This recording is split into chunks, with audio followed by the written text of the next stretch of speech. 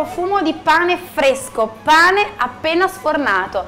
Siamo qui per un nuovo appuntamento in compagnia di Renato e Vania che sta girando per la cucina perché caro Renato, Parole nel piatto ci propone il secondo corso di cucina. Siamo partiti dai sughi, se vi ricordate, se ci avete seguito nella scorsa puntata, arriviamo oggi alla preparazione del pane, come abbiamo appena visto. Renato, sono tante le ricette che insegnate in questo corso. Oggi insegniamo prevalentemente la tecnica della maturazione degli impasti che serve per fare per noi le baguette e la pizza ad alta idratazione.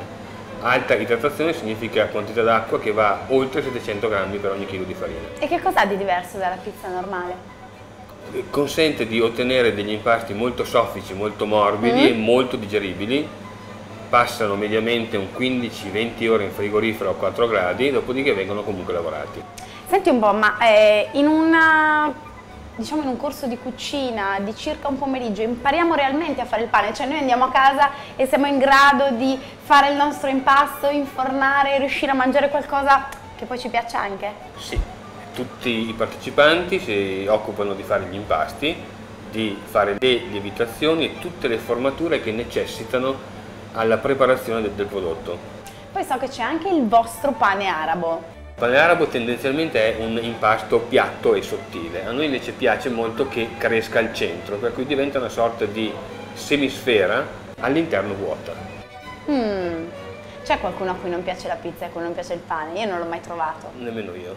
Quindi diciamo che questo è un corso per tutti? Per tutti.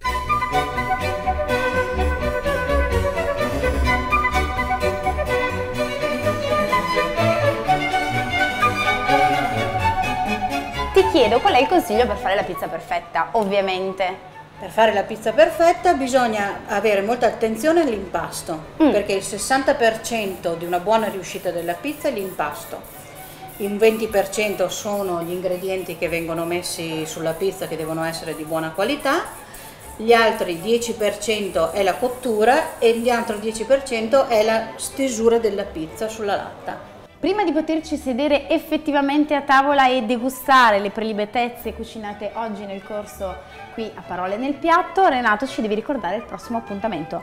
Il prossimo appuntamento è il primo di dicembre con i biscotti di Natale dove faremo alcuni biscotti tipicamente natalizi tipo gli speculus, il pan de pis e alcuni amaretti molto molto molto semplici che tutti possono fare. Segnate la data in calendario, primo dicembre, il corso si tiene sempre nel pomeriggio e Renato vi assicura che imparerete a cucinare dei biscotti perfetti da offrire ai vostri ospiti durante le festività. Esattamente. Noi adesso ci intratteniamo con le bontà preparate oggi, ci vediamo al prossimo appuntamento.